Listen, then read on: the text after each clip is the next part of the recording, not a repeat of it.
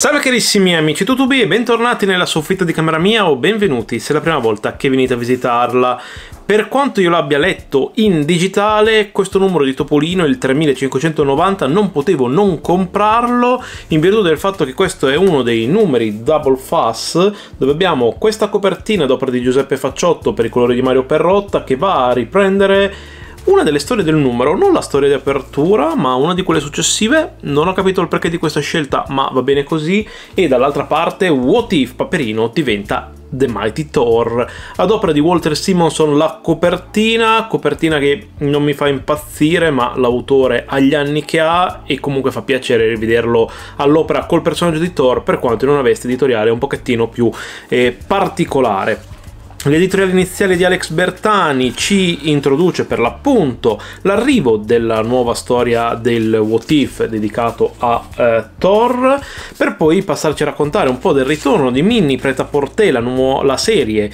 diciamo così, sul mondo del, um, dell'atelier e del mondo della moda, con Minnie come protagonista. Ci anticipa il ritorno settimana prossima di una storia che riguarda gli scacciafantasmi, quindi il classico di, eh, dell'animazione, del corto d'animazione, che è stato già ripreso anche recentemente, ma che riceverà un sequel omaggio ad opera di Luca Barbieri, probabilmente sempre nell'ottica di festeggiare i 90 anni di Paperino, per quanto è un classico che è stato già eh, tirato fuori non troppo tempo fa, o anche solo banalmente l'anno scorso, per i cent'anni della Disney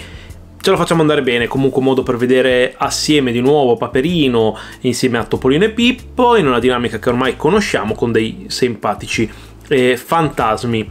Non perdiamoci troppo in chiacchiere, questo numero di Topolino contiene 5 storie ma 2 sono appuntate, quindi andiamo subito ad analizzare le 4 posizioni di questo video. Ma prima di iniziare, sigla!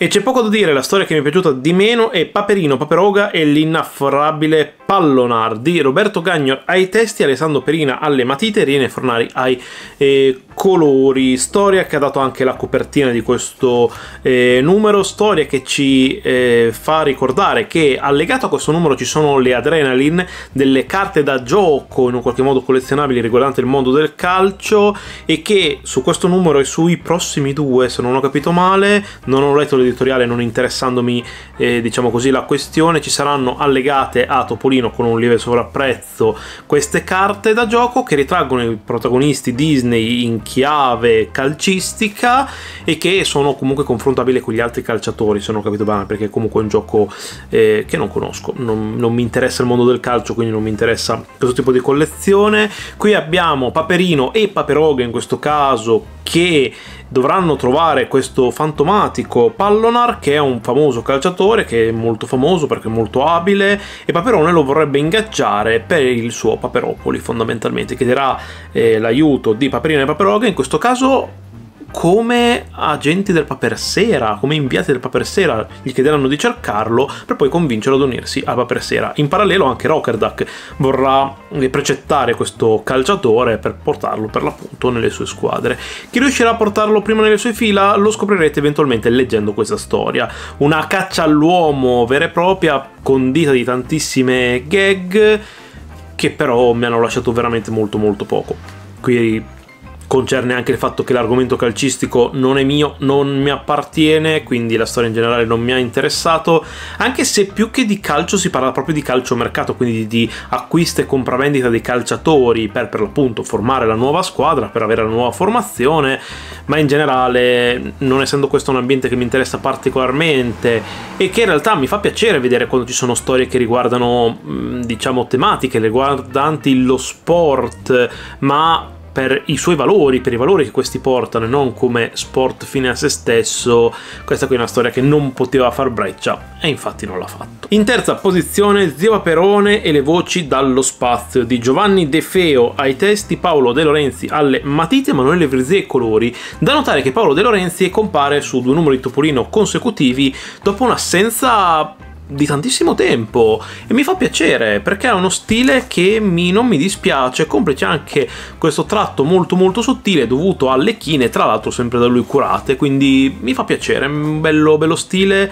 molto grosso ma con una china molto molto sottile, quindi è qualcosa di un po' peculiare. In generale questa storia ci vuole parlare di spazio con Paperone che dovrebbe smaltire i satelliti che ha inviato nello spazio, ma non vuole farlo perché costa, quindi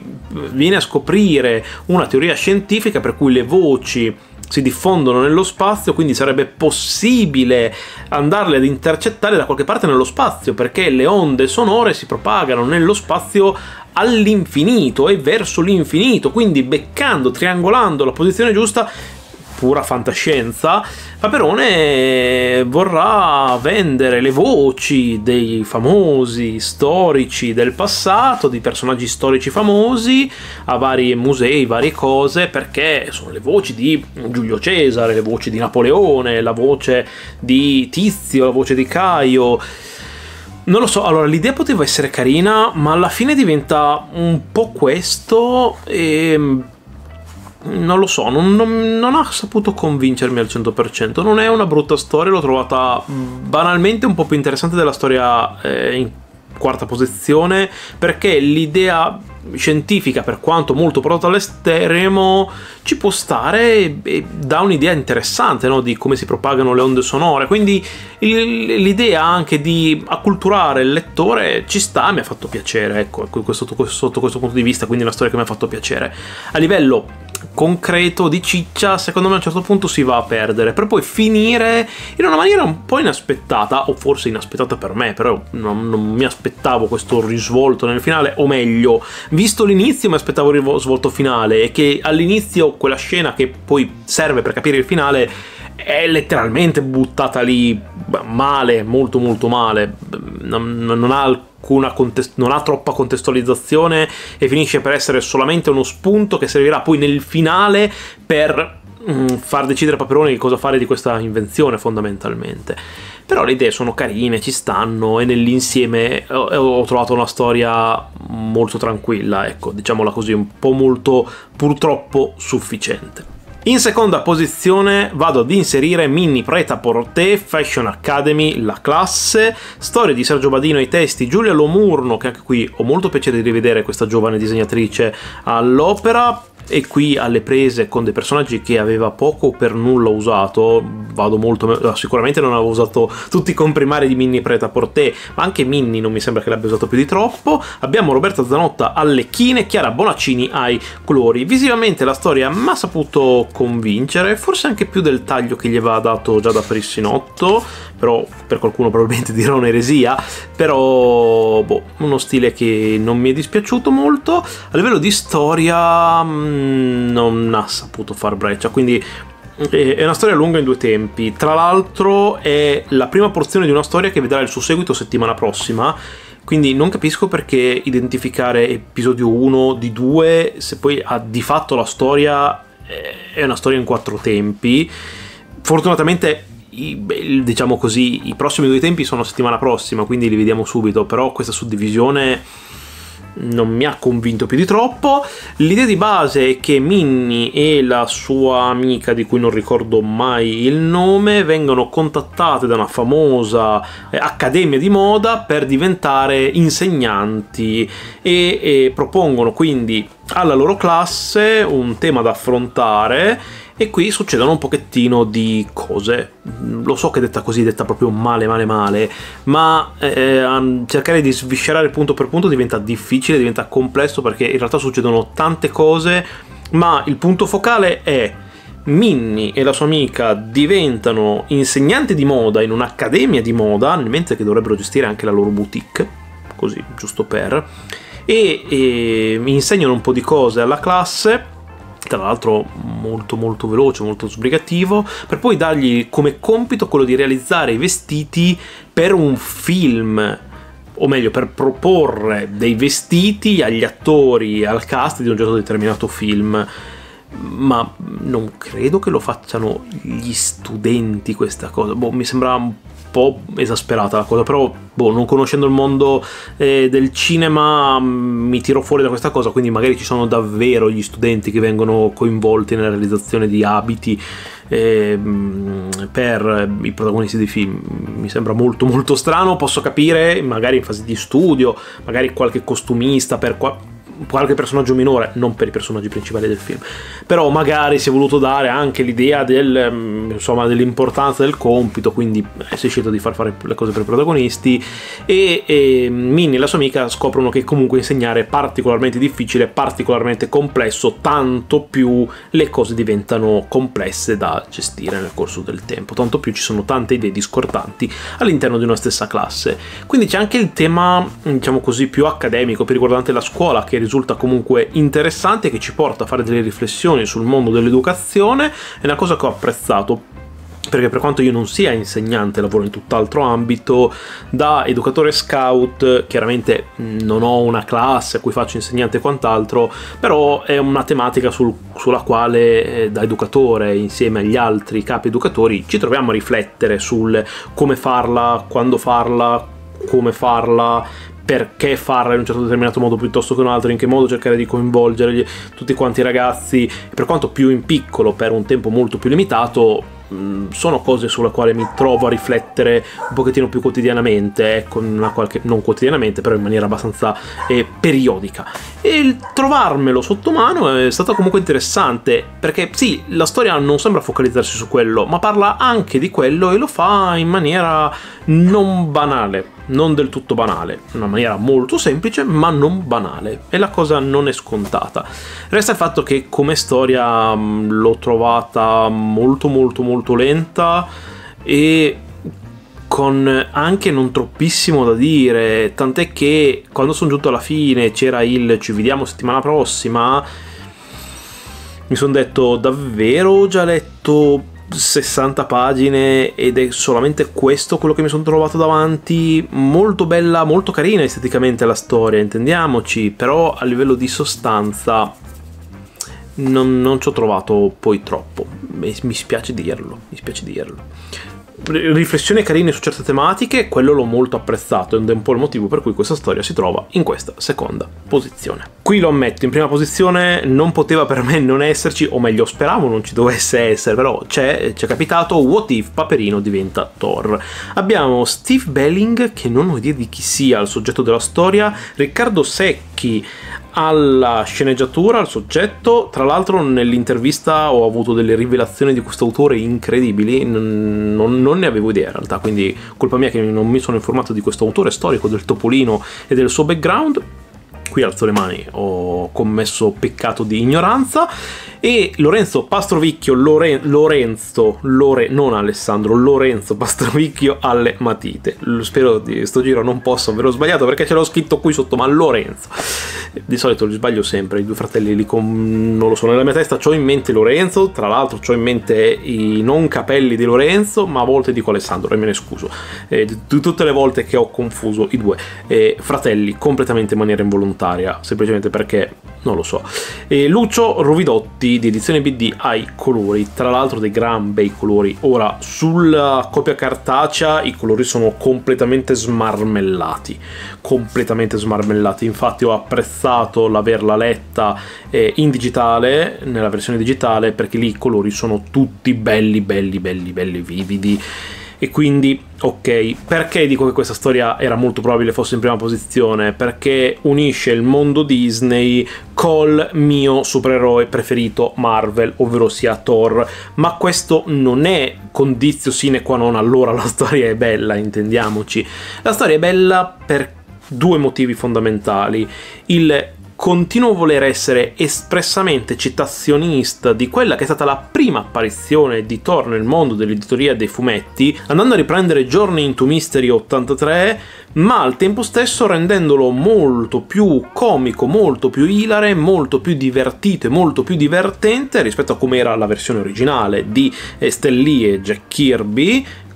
insomma due nomi giusto così fondamentalmente la versione originale qui abbiamo Lorenzo Pastrovicchio che visivamente parlando fa delle tavole da paura, fa delle tavole da paura, quindi molto belle visivamente. A livello di storia si va a riprendere la prima apparizione con tanto di escamotage narrativi che rendono Paperino Donald Blake zoppo la, come trova il bastone è in una maniera molto molto simile. Sì, cambia il contesto nel quale il nostro protagonista si reca in Norvegia, anche perché nei fumetti non c'è alcun criterio, è proprio una roba buttata lì completamente. Anche la razza aliena, in questo caso pietrosa, che il nostro Thor si troverà ad affrontare, è sempre una citazione, un omaggio alla primissima storia di Thor, dove c'erano degli uomini di pietra contro cui doveva avere a che fare. Anche le varie problematiche, i poteri che il martello offre, i problemi che dà il martello, sono tutte cose molto molto molto fedeli alla storia originale e ho apprezzato molto questo mm, voler coccolare sia eh, il lettore disneyano in una storia eh, superioristica comica molto divertente e piuttosto riuscita, sia il lettore Marvel di vecchia data che prende, riconosce citazioni, mh, mm, personaggi, situazioni per andarlo a coccolare in questa coccola disneyana un pochettino più eh, leggera ma comunque molto molto aderente alla materia originale di eh, partenza. Visivamente poi se io penso a Paperino un po' imbranato, un po' goffo, un po' sfortunato, pensarlo come Thor ovviamente fa strano, ci sono un po' di vignette che lo rendono un po' goffo, un po' impacciato, per renderlo molto molto più comico, ma ci sono anche dei primi piani o una splendida splash page che rendono appieno tutta l'epicità di questo personaggio, rendono appieno l'epicità di eh, Thor proprio in pieno in pieno in pieno. E quindi qui lo dico anche pubblicamente io voglio un disegno a colori di Lorenzo Pastrovicchio di Torino perché ovviamente Paperino diventa Thor diventa Torino e, mm, il personaggio viene chiamato Thor nella sua veste di Thor, quindi un po' la stessa cosa che era successa nel numero, sc- no, nel numero scorso con Wolverine, era Paperino Wolverine. Qui si è scelto di farlo diventare Thor direttamente. Complice anche il fatto che in realtà è Paperino nelle sue vesti normali ed è Thor nel momento in cui eh, impugna il martello e diventa Thor perché si trasforma in Thor. Quindi in realtà la mm, congiunzione del nome ha senso. Tra l'altro era Donald Blake, quindi Paperino Donald aveva senso. Ha più senso probabilmente in America che non in Italia. Non ho letto la versione americana, aspetto di avere, ho visto cose lo spillato americano ci metterò un po' perché sto aspettando che ci sia diverso materiale eh, in casella prima di, fare, mm, di, farmi recapitare tutto in realtà nella fattispecie sto aspettando che arrivi il terzo omnibus di PK eh, perché l'ho ordinato lì un po' per praticità un po' per comodità eh, per poter farmi avere un pochettino tutto quanto quindi ci metterò un po' di tempo parecchio tempo in realtà leggerò volentieri anche la versione americana di questa storia per vedere divergenze e quant'altro eh, magari vi farò un video dedicato quando, per parlarvi sia di questo che di Wolverine giusto per darci un'idea di quanto potrebbe essere cambiato l'adattamento. Sicuramente verrà proposto in futuro da parte di Panini un volume con tutti questi what if, già me lo vedo, ma è ovvio che sia così. E non me l'aspetto a brevissimo giro, anche perché altre storie sono in produzione, stanno per arrivare. Sappiamo già che a breve avremo eh, Minnie che diventa Capitan Marvel per i disegni di Giada Perissinotto. Non ricordo che sia il, lo sceneggiatore, insomma sappiamo che ce ne saranno altri e quindi essendocene altri vedremo nel corso del tempo. Per l'appunto nuovi episodi di questi what if e poi prenderemo sicuramente anche il volume oddio prenderemo sicuramente non lo so dipende come saranno gli altri what if ma questo di Thor secondo me merita merita parecchio in un'ottica molto divertita, molto divertente, sapendo che è una storia eh, molto riempitiva per quanto riguarda il topolino, ma una storia molto divertente, molto citazionistica, una parodia moderna di un classico del fumetto eh, americano ed è in quest'ottica che io la vado a prendere, una sorta di parodia eh, fortemente voluta in realtà dalla casa produttrice Marvel, ma in questo caso una parodia molto fedele, molto aderente per l'appunto all'universo Marvel e a Thor nella fattispecie. Purtroppo questo numero di Topolino mi sento di dire non essere particolarmente riuscito, le storie in generale non mi hanno convinto particolarmente, trattano tematiche in realtà anche interessanti, anche abbastanza profonde, ma non riescono mai ad essere particolarmente divertenti. La storia storia di punta diventa alla fin fine What If Paperino diventa Thor, storia che a me è piaciuta ed è stato un po' il motivo per cui ho voluto acquistare anche la copia cartacea di eh, questo numero fondamentalmente pur essendo assolutamente conscio che di questa storia uscirà prossimamente una versione spillata in italiano, quindi nel formato spillato americano, che sarà sicuramente in un formato un pochettino più grande, quindi in un formato che costa un pochettino di più perché per le sole 30 pagine della storia, il prezzo di copertina è di 5 euro, ma con una tipologia di carta che eh, non smarmella i colori come fa eh, purtroppo il eh, Topolino. Volendo mm, risparmiare 3,50 euro ha senso magari voler acquistare la versione eh, sul Topolino che comunque risulta leggibile, che comunque risulta molto leggibile, sintomo che forse hanno ritoccato un po' i testi rispetto alla versione americana, punto di domanda, non avendola vista non, mm, insomma, non ci scommetterei troppo, però non è così eh, impensabile quindi in realtà se siete interessati solo a What If Paperino diventa Thor vi direi di aspettare lo spillato di prossima uscita. Se invece lo volete leggere subito a 3,50€ avrete altre storie purtroppo non particolarmente riuscite. Questo qui è un numero che mi ha abbastanza deluso mi viene proprio da dire così. Purtroppo mi viene da dire così un numero che non ho trovato particolarmente brillante. Non è tutto da buttare via, intendiamoci, le tematiche che vengono affrontate in alcune storie sono interessanti ed è interessante che vengono proposti ai lettori più giovani, ma le storie non mi sono mai sembrate troppo frizzanti, troppo divertenti, finendo per essere un pochettino noiose nel loro insieme, purtroppo. E questo è quanto avevo da dire per voi per oggi. Ci sentiamo e ci leggiamo nello spazio commenti di YouTube qui sotto dove, dove potete dirmi la vostra, se avete letto questo numero di Topolino, se vi sia piaciuto o meno e continuarne la discussione assieme. Da Francesco, dalla soffitta di camera mia è davvero tutto e noi ci vediamo in una prossima video opinione del canale. Ciao!